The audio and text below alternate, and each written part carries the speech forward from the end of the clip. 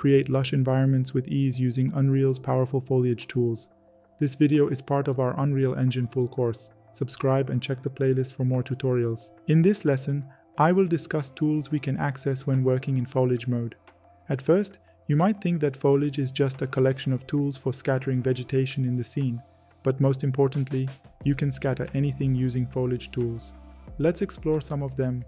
Press Ctrl plus Shift plus S to save all my changes and the current level as a new version.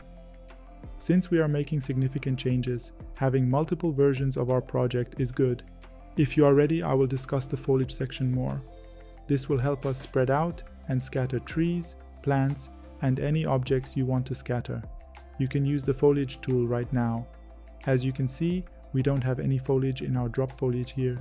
Let's bring some trees and plants here to start building our project. I downloaded this content, which is called Trees European Beech, from Epic Games Marketplace. The supported engine version is 5.3, and it will be fine since we will use it in a project that is made with a higher version. I already downloaded it so that I can add it to the project. Again, when adding it to the project, I must hit Show All and select my project. Also, you have to select the closest engine version to 5.4, which is 5.3, it may take a little time because it's an 8 gigabyte file, but it went quickly since I already have it on my computer. Let's return to our project. If I go to my content folder now, I see another folder called European Beech. Foliage, geometry, maps, materials, and textures are inside the folders. Let's go to maps and open this map. Here is a template of what is available inside this package. Simple Wind is on the right side and Pivot Painter Wind is on the left. Some prefer Pivot Painter Wind because it is much more realistic but is not performance friendly. You see all the trees available in this package. Also, you see this small asset called Global Foliage Actor, a control they built to allow you to access many exciting features. I'm going to demonstrate. When it's selected in the detail panel, I can change some of the settings. For example, I can increase wind strength. As you can see, the left side is much more realistic than the right side. However, Pivot Painter Wind is computationally demanding, so be careful.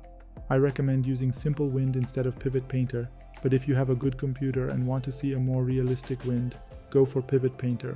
You also have other controls here. For example, you can change the wind speed. Another exciting part is that you can change the season settings. You can make it more yellowish and autumn-like. With season settings, you can get exciting results. So you have all these items available to you. The most important are wind strength, wind speed, season strength, and season saturation. This demo shows what's available. Now we can head back to the level we were working on. Inside the European Beech folder, you see other folders like materials and textures, which contain all the materials and textures for these trees.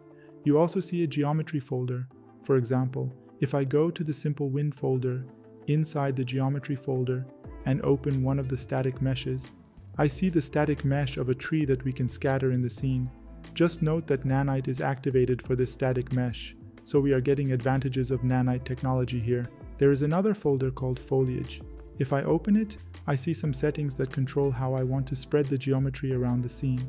There is a corresponding foliage file for each static mesh in the geometry folder. Whenever we want to scatter a specific mesh in the scene using foliage tools, we must first create a foliage actor. The foliage actor contains information about the static mesh and its distribution in the scene, such as the number of instances of that static mesh we are placing. When scattering anything using the foliage tool, we first need to create a foliage actor for it. Let me explain with an example. When I want to use foliage, I can go to the foliage mode, which is currently empty. I can add foliage by clicking here. Unreal Engine will automatically recognize all foliage actors that I have in my content folder and display them so that I can add and start scattering. But let's look at how we can make foliage actor out of a static mesh. For example, if I go to my geometry folder and pick one of the static meshes for the trees, I can simply drag it to the foliage section of my foliage tools. After releasing it here, it will automatically create a foliage actor and ask where you want to place it. But we don't need it in our case, since when we imported our tree pack, it came with a folder with all the foliage actors we needed to scatter the trees around the scene. For this project, I will select all the foliage actors in the 3 pack and drag them to the foliage section. Now that I have all of them here, I can start spreading them around the scene. However, let's move to a corner of our scene first. Before spreading them out, I will examine the options available to us. For demonstration purposes, I will hide the rocks at this point. I'll come to this corner to explore the foliage. If I want to scatter these trees, I must select them by clicking and activating them in the top corner. I can also select multiple items and spread them. Let's examine just spreading one of them in the scene. From the top window, you see that we are in paint mode. I have activated one item. I will see a brush when I come to the scene. If I click and drag, you will see many trees in the scene. I can use the erase option to remove what I have added. As you can see, I can increase the brush size here to paint over a larger area. I can also delete them, if you prefer. Currently, the objects are very dense, so that I will reduce the intensity. When I attempt to paint, there are fewer items in the scene. Using the intensity control, you can change the number of trees placed in the scene with each click. When you place them in the scene, there are many other options.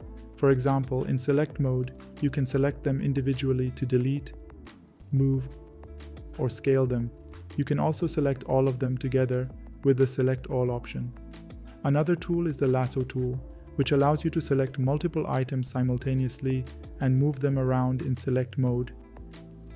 Instead of using the brush, you can use the single placement option to place items individually, which is very useful. Please note that if you have more than one item selected to be scattered in the scene, with every click in a single placement option, you place all at once in one place, which doesn't seem optimal in most cases, so there is an option that you can activate here. Change all selected to cycle through selection in single instance mode. In this case, it will cycle through your selected foliage with each placement. You can also select all of them from the top option and then press delete. This will remove them. Let's focus on one of them for now. In paint mode, there are many other options. For example, you can see the geometry associated with the foliage and where it is located. You can also adjust the intensity here. Changing the intensity here allows you to control the intensity for individual items instead of all the selected items. If I increase this to 1000, it will be much denser. However, I usually use the options above the top in the brush setting. Another good feature is the scale option, where you can set minimum and maximum values for the scale. This will make the trees appear in different sizes. As we move down, an option is Align to Normal. If I want to place some trees, they will align with the curvature of the landscape. This is not realistic for trees, but might be suitable for grass. I can uncheck this so that the trees are placed upright. You may notice that sometimes you can't place trees on steep slopes. The ground slope angle setting controls this. By increasing it to nearly 80 degrees, I can set trees on steeper slopes. Another important setting is the Z offset. To demonstrate, I'll set it to negative 300 and positive 300. This will place the bottoms of the trees at different heights, which can be helpful in some cases. Let's reset the changes that we made here. Now instead of one, I'm going to select multiple items. Now I can make the changes I want over all selected items. Now that we understand how this works, I will begin with the larger trees and then move on to the smaller ones. Here, we will apply the same principle discussed for the large, medium, and tiny details. Before adding these to the scene, it's a good idea to adjust your settings first and then add the trees. The first row of trees is the largest, and as we go down, they get smaller. These are even smaller trees and bushes. First, I'm going to make some adjustments for all of them. We don't want to align to expect it to be activated since all of these items are trees and trees usually go up regardless of the surface that is planned on, so we can adjust that. Also, we want to place them on the steepest slopes, so I'm setting the angle to 80 degrees instead of 25. Let's see how big the trees in the first row are. If I place one, it's so large that it's useless for my scene. I'm setting the minimum and maximum scales to 0.3 and 0.5 for the first row to make them more manageable. The smaller trees are a good size, and the smallest ones will be fillers for the scene, so they also seem fine. I will start with the largest and work down to the smallest ones. I'm going to paint trees to cover my scene.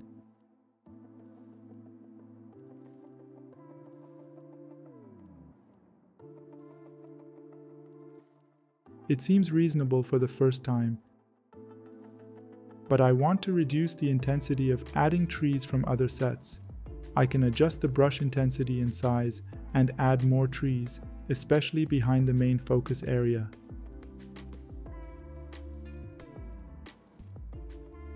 After the first row, I'll select the smaller trees and add them to the scene.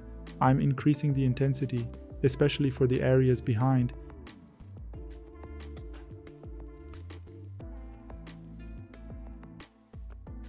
It's getting much better. I can increase the density and place some trees.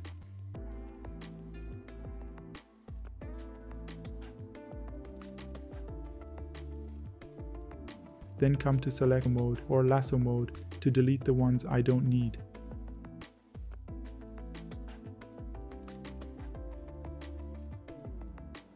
In select mode, I can see and control the placement of the trees. Let's hit Ctrl plus Shift plus S to save the map. Let's review the sample map we examined when importing our tree pack.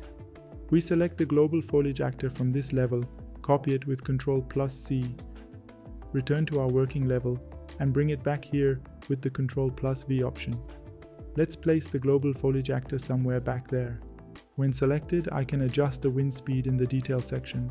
The movement is unrealistic since we use a simple wind over pivot painter, so I will decrease it. When the foliage actor is selected, I can change the season and make it a little yellow. Remember, it's better to look at it in unlit mode to adjust the color Now, we have the first round of foliage. However, I'm thinking about adding more foliage to the scene. I'm going to head to Quixel Bridge again. This time, I'm going to select something from the plant section. I've already decided on a few of them and put the link in the description.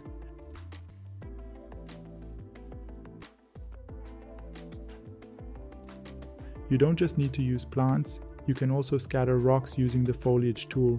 So let's add this asset a collection of small rocks, to the scene. These are three items that I want to use. As you can see right now, we don't have nanite quality plants, so the high quality would be sufficient. Just download it and add it to the project. Let's also add the other one that I downloaded.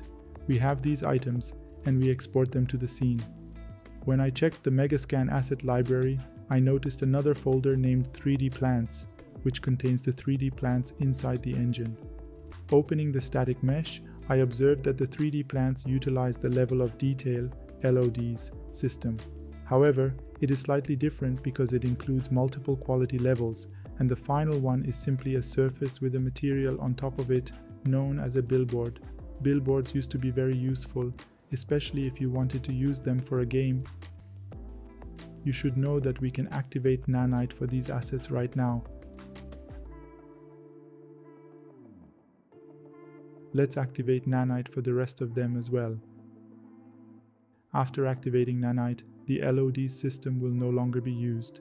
Like any other object, they have a material and you control them. Nanite has another material just for billboards. Now it's time to add the foliage. Unreal Engine recognized that they were here and added them automatically for us. I'm going to deselect everything and paint my first round.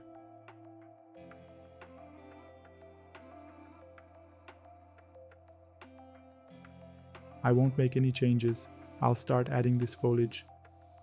I'm going to play with the intensity and add it.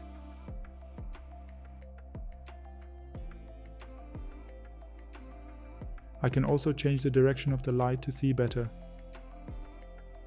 I'll draw the foliage where necessary. I can add foliage to any area visible to the camera, including some inside objects, since they can grow there. I can adjust the intensity to put more foliage in specific areas. You can also change the brush size to draw over areas with deeper slopes. I can pick some grass and add them.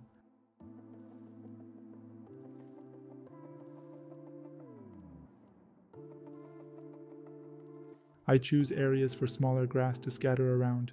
I can adjust and increase the size, adding more grass to cover some areas. I think we are in good shape. Now that we've finished this, it's time to adjust the color. If I go to unlit mode, you'll see that the latest foliages are too bright. I can find materials and use the color overlay to match them with the rest of the scene.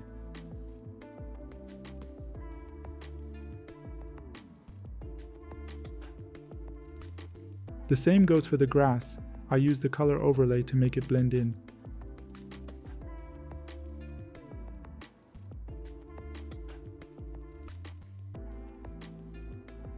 Lastly, I want to scatter the stones we brought to our project. If I go to the foliage section, I can drag and drop static meshes for stones. Each time I click, it generates another set of static mesh foliage, and we have to save it somewhere in our content folder. In our case, we can save it in the same folder as static meshes. Now, I can select and paint them like any other foliage actor. Essentially, you can use the foliage tool to scatter any static mesh.